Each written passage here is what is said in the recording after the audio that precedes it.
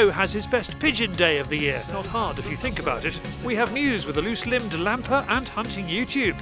First, I'm in the heart of Devon high pheasant country looking for the wildest and weirdest beater in the UK. It's a deer. This is Owen, a deer, joining guns at the Mornacott shoot for a drink between drives. Yes, a deer who likes shooting. Here's the shoot owner. Yes, well, Owen was found caught up in uh, in some barbed wire by the by the boys in one of the top fields. Uh, they untangled him, but uh, mother wanted nothing to do with him, having smelt uh, of, uh, of them. And, uh, who can blame her? Um, we brought him in and, uh, and fed him on ewe's milk, and uh, he won't uh, won't go away now. He sort of hangs around quite a bit and uh, is there uh, on quite a few other shoot days. He's But, not, he's not gun shy, is he? He's not gun shy at all, no. In fact, we had the hunt over the other week and uh, he was running in front of the hounds, sort of thinking, this is fun. Thank, thankfully, they were after hinds. he takes part uh, on a, a number of occasions, joins the beating line several times. He's joined the guns at break as well. So uh, during the rut, it was a bit interesting because he got a little bit uh, amorous with uh, with one or two people, but uh, he's he's calmed down a bit now. Um, it'll be interesting to see what happens as he grows and develops. But for now, a worthy addition. So, our mission today is to see if we can find Owen, or if Owen can find us. Well, that's part of our mission. We're also out to have a lovely day's pheasant shooting on what is one of Exmoor's outstanding shoots. Andrew starts the day with an excellent breakfast and a briefing. Then we head into countryside that could win an award from the Flying Pheasant Federation if pheasants had a federation for flying. The estate manager is another Owen, Charles Owen. After the deer. Well, the deer's after me, I suppose. First drive is called Holly Tree. It's a long bank with guns arranged below a cover crop.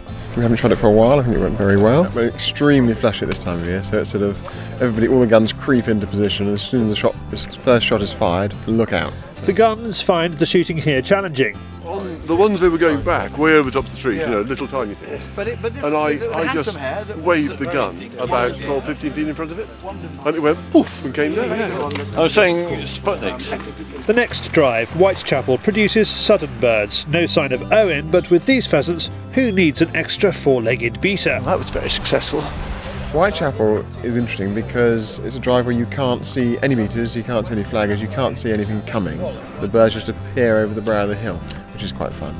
And then we're going on now to do um, Clover Down, which is one of our sort of signature drives, but we're going to do it out the back because the pheasants have learned to fly out the back of the crop. So we thought, right, stand the guns behind the farmhouse and take them back over the farmhouse. Charles has produced 30 days of shooting on Mornacott this year, with and without Owen's help.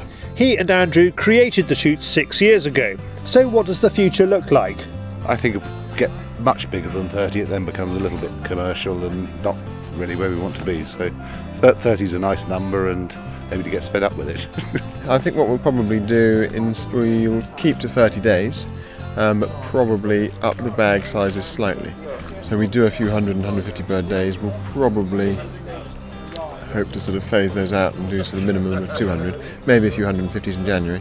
Same number of days, but more birds. Andrew has built comfortable accommodation for a whole team of guns here. We've had seven years of builders, and uh, last year was our first year when we had uh, guests staying overnight. People can roll out of the shoot room at, late at night without having to worry about drinking and uh, spend the night, then come in for breakfast in the morning before shooting. So uh, yeah, it works very well. Teams of beaters and pickers up. If you'd looked at all the building works we've had done, I think we worked out building work wise, we've done nine full time employees for a full year on the building works and this, that, and the other. And then uh, obviously the beating teams, picking up teams, keeper, va- various other people who help out in the, in the catering and the, uh, the preparing things and the overnight accommodation. So at least a dozen full time equivalents, I would think. Uh, not as yet, I'm afraid, no. No, but time will tell. We're going up to the Owen direction now, so. The drives continue. The guns stop for a drink and they clearly like what they're getting today. They especially like Andrew. Well, it's all of those virtues that we, we all wish we had, isn't it? It's um, you know, delightful personality, exemplary leadership, ruthless efficiency, and bloody nice with it. The last drive, the hangar, is spectacular with pheasants coming over the top of a high wood. So, did everything go according to plan? As much as anything ever goes according to plan on a shoot day. I think everybody's had some fun, and that's really what today's been about. To book shooting at Mornacott, go to mornacott.co.uk. And what about Owen? No, none, not today. He's uh, obviously taken the day off, but I hope we'll see him in a day or two and uh, back uh, back in the line next year with good luck. Now, before we leave pheasant shooting, we are once again in the unusual position of having an advertisement from a cartridge company. Here it is.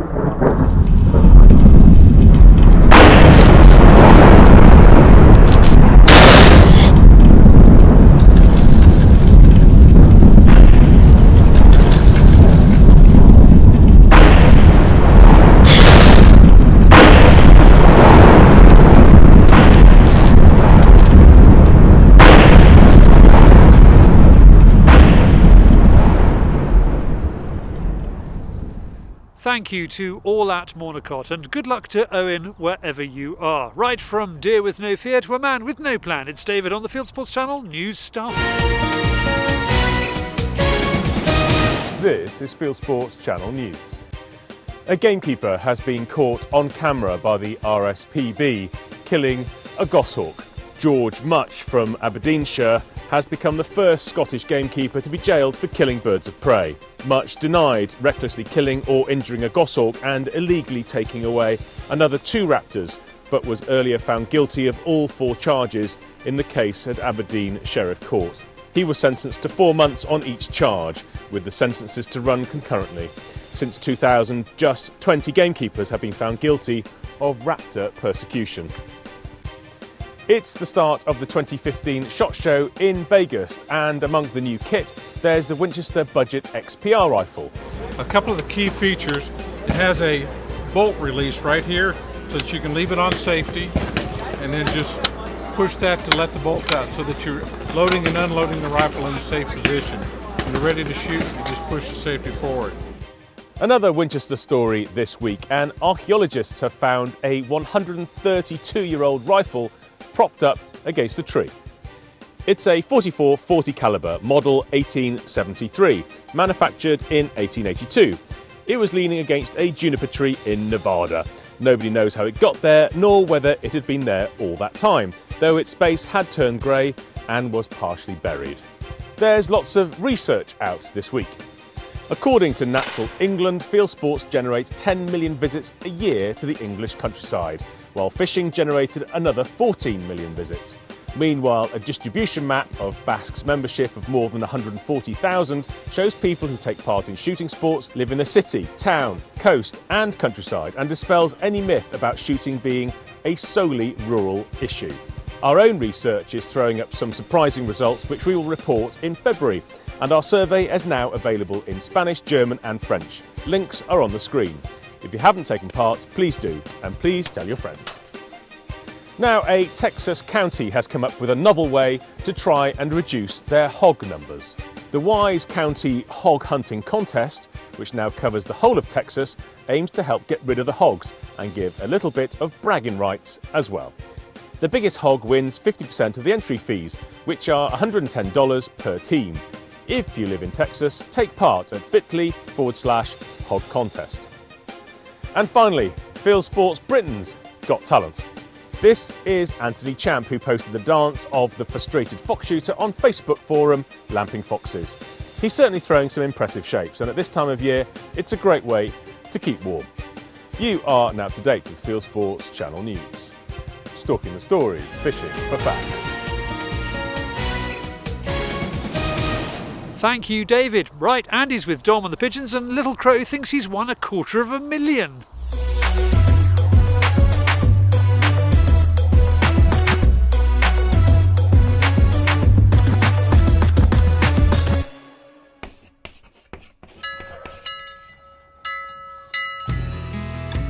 If anyone needs a manicure, it's Andy. He's just not moisturising like he used to.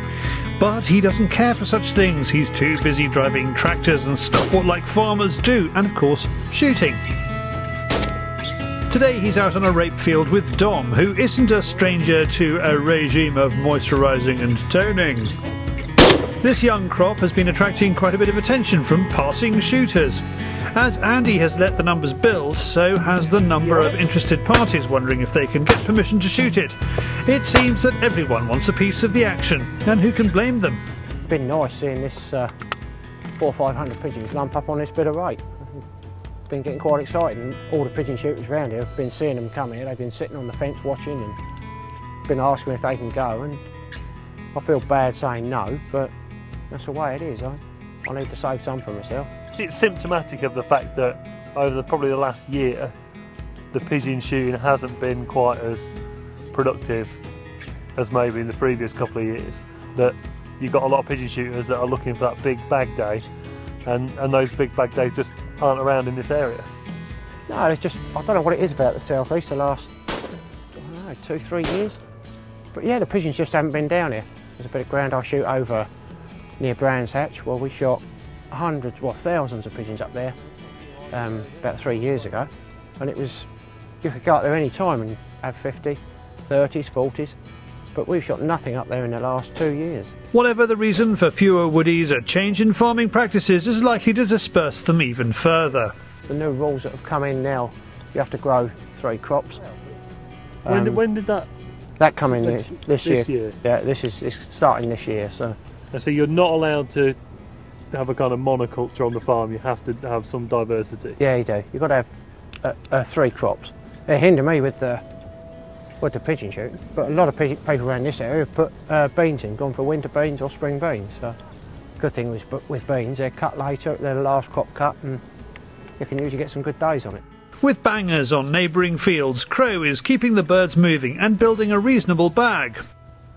Well, that's, that's the last one I just shot. It's got nothing in it at all. So, uh, dry as a bone. They're in good condition as well, considering. Well, that one is.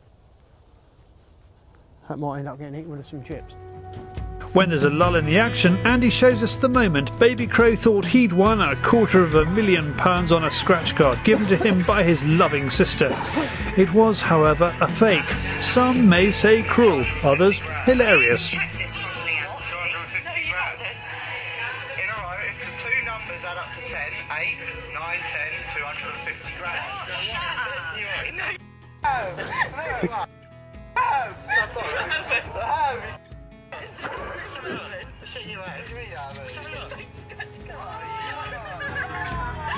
Back to business, and the birds are decoying well, but he's had to manage the day and the pattern, keeping one step ahead of the birds and the conditions. Early on, we had a lot of. Uh, there was about three or four big groups come round. We didn't bother shooting at them. We just left them go. I don't like shooting big, big groups. Just educates them and just and puts them on their toes straight away. Let them split up and shoot the smaller groups. Is there anything you you think we, we might have done differently in terms of where we set up, or you know what, what kind of pattern you've used to, No, to- I that don't- could have improved the result? Or I've got a, a new whirly there. Well, it's not that old. From A1.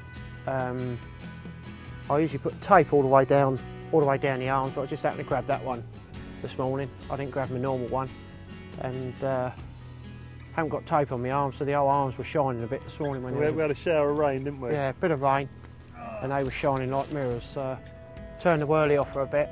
Um, then the wind got up a bit and clouded over. So that's when I whacked the whirly back on and seen the work dividends. It, it worked really well. At the final count, Andy has 70 birds, and we can safely say it's his biggest and first bag of 2015. Poor baby crow, he could have been travelling the world with all that money. Instead, he'll have to see what's out there on Hunting YouTube.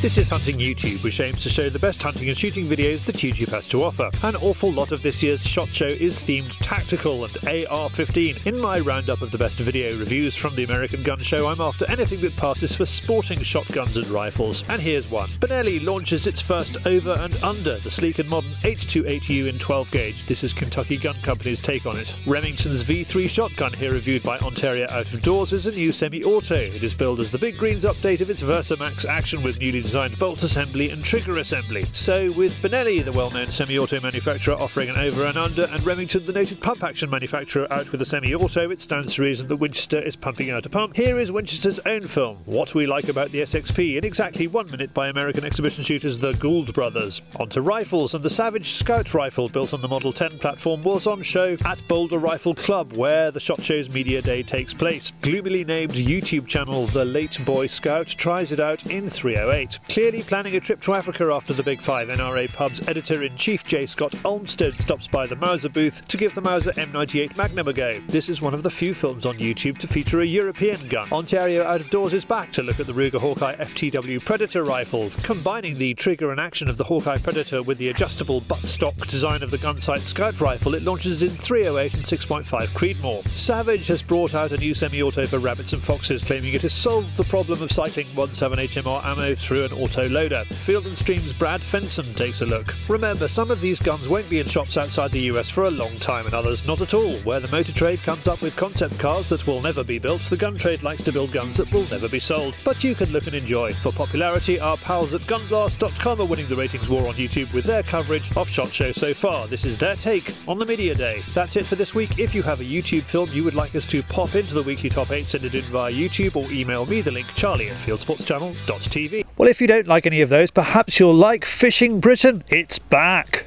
Martin Salter of the Angling Trust takes over where Hywel Morgan left off in September, and he's out to find out about carp. Not 100 pound monsters, but lovely little crucian carp, how to fish for them, and where to find them. That's not all. Krista Margery has salmon fishing tips if you're on a loch. There's news, and there is Hooked on YouTube. Click on the link on the screen.